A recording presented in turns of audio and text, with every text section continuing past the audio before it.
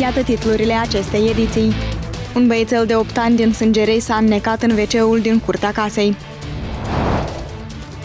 Un tânăr de 21 de ani a murit, iar alți trei au ajuns la spital după ce mașina în care se aflau s-a răsturnat. Șoferul mașinii ar fi urcat beat la volan.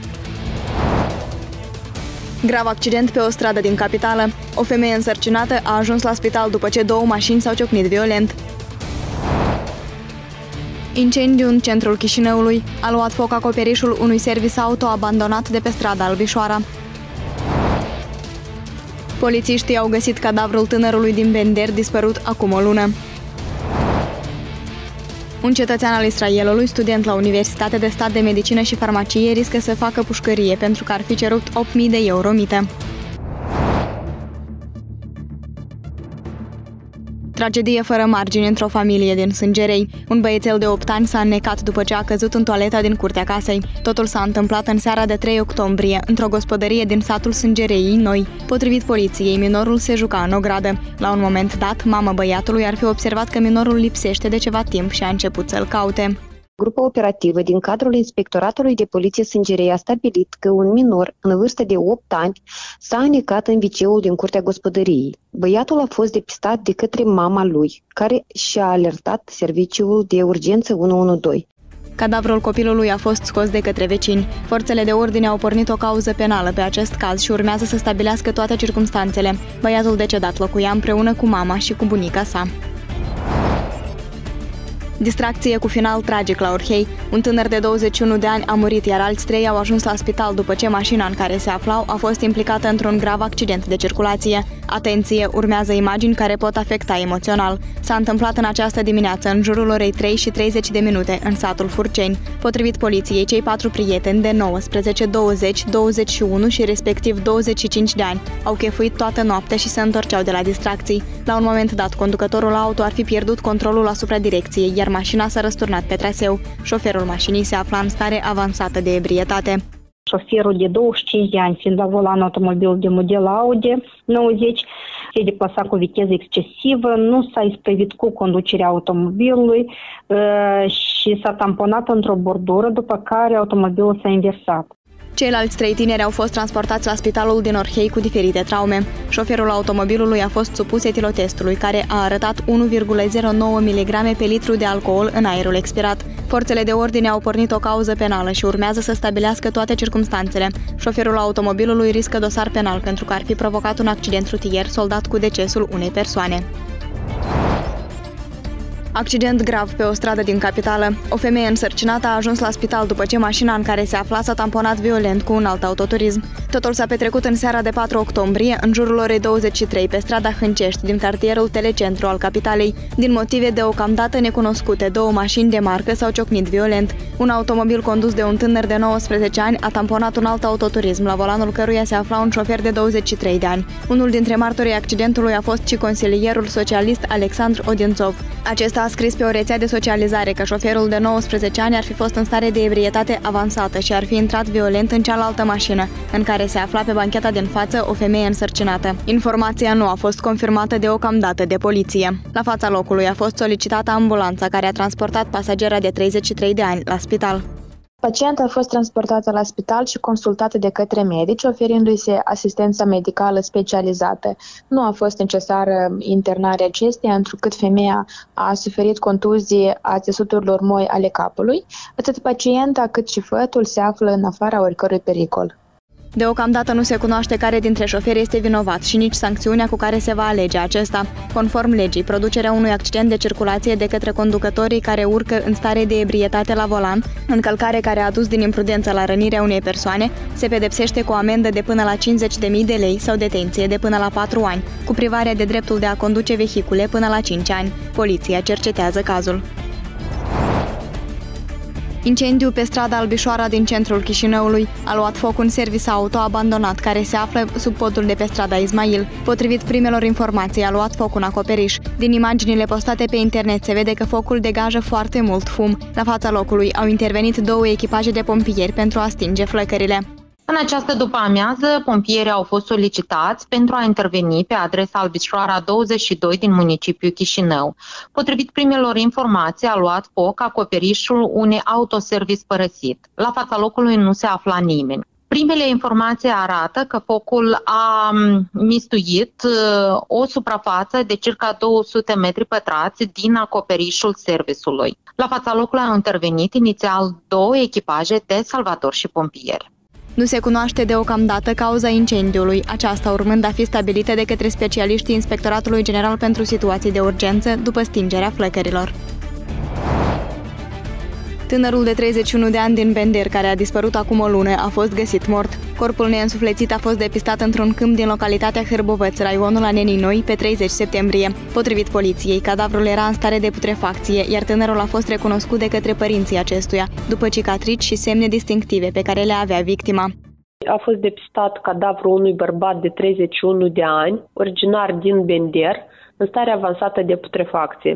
La examinarea inițială a cadavrului de către medicul legist, nu a fost posibil de constatat dacă acesta ar fi avut careva leziuni corporale din cauza gradului avansat de putrefacție. Actualmente a fost dispusă expertiza medico-legală care va putea stabili cu certitudine cauza decesului. În ziua dispariției, pe 3 septembrie, tânărul era îmbrăcat într-un tricou, blugi de culoare albastră închiși și șlap de culoare albastră. În ziua când a fost găsit cadavrul, victima era doar în lenjerie intimă. Îmbrăcămintea tânărului a fost găsită în apropiere. Nu este clar deocamdată cauza exactă a decesului. Poliția investigează circumstanțele cazului ar fi cerut 8.000 de euro mite de la o fostă studentă de la medicină și ar fi promis că o va restabili la studii. Un cetățean al Israelului, student la Universitatea de Medicină și Farmacie, riscă să ajungă după gratii suspectat de trafic de influență. În cel mai scurt timp, suspectul va compărea pe banca acuzaților. Potrivit procurorilor anticorupție, tânărul ar fi promis că în schimbul sumei cerute va convinge persoanele responsabile de restabilirea la studii a studenților exmatriculați să restabilească ex-studenta în anul 3 de studii. Acesta a fost prins în flagrant în timp ce primea o tranșă tranșă de 5.000 de euro de la prietenul fostei studente. Procurorii anticorupție spun că în cadrul audierilor tânărul ce-ar fi recunoscut vina, iar acum se află sub control judiciar. Dacă procurorii vor reuși să-i demonstreze vina, studentul riscă o amendă de până la 150.000 de lei sau ar putea petrece următorii 5 ani după gratii. Cumpăra haine și încălțăminte dintr-o piață din orașul Odessa, Ucraina și le aducea prin contrabandă la noi în țară. Un bărbat a fost oprit în trafic de către echipele mobile ale vămii, iar la el în automobil, și au găsit marfă de peste 100 de mii de lei. Totul a avut loc la intrarea în localitatea Zaim, raionul Căușeni. Potrivit vameșilor, bărbatul nu avea niciun act pentru hainele și încălțăminte pe care le transporta. Mai mult, unele articole aveau marcajele unor branduri renumite, ceea ce încalcă drepturile titularilor acestor branduri. Forțele de ordine au stabilit că suspectul ar fi introdus marfa ilegal prin regiunea transnistreană. Toată marfa a fost reținută, iar vameșii continuă cercetările pentru a stabili toate circumstanțele. Mai multe evenimente din țară și de peste hotare, pe scurt. Transportul public își schimbă itinerarele.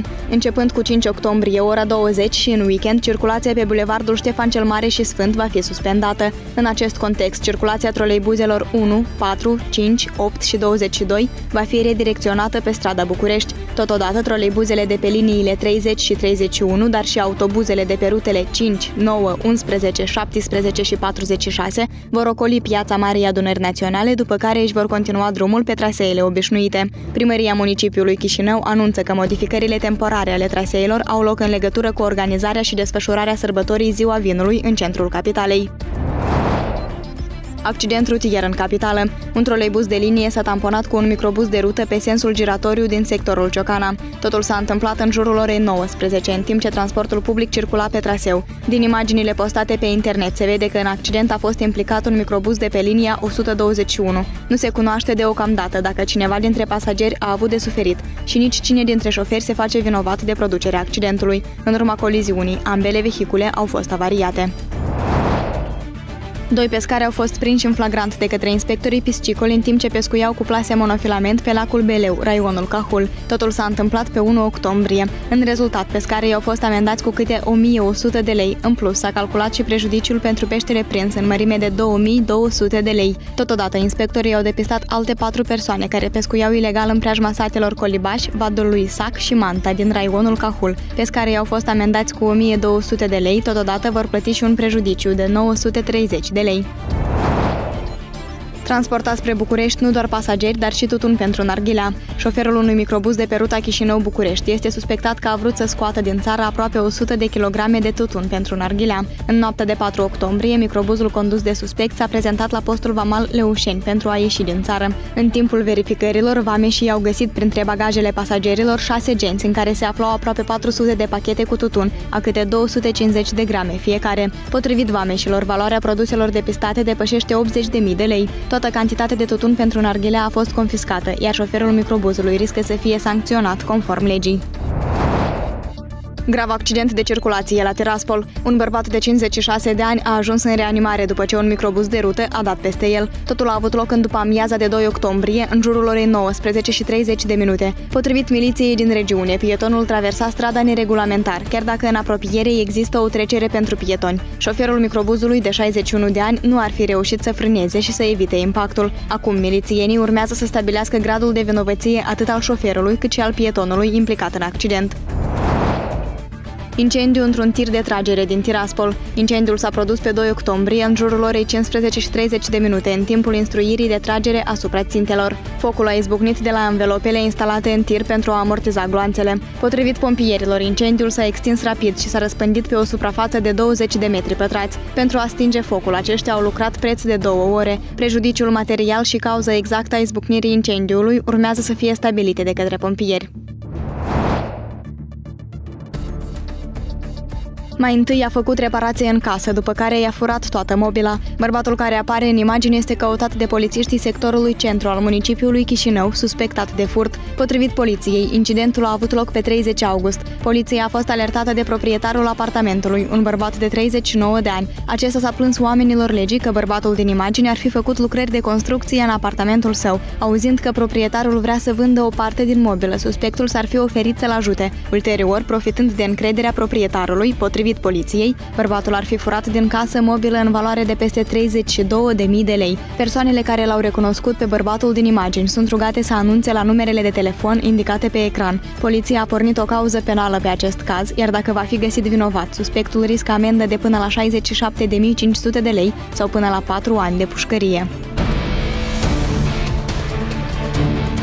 Dacă deții imagini sau informații ce pot deveni o știre, expediază-le pe adresele indicate pe ecran. De asemenea, poți contacta echipa 902 la numărul de telefon 062 071 902. Știrea ta o va vedea o țară întreagă.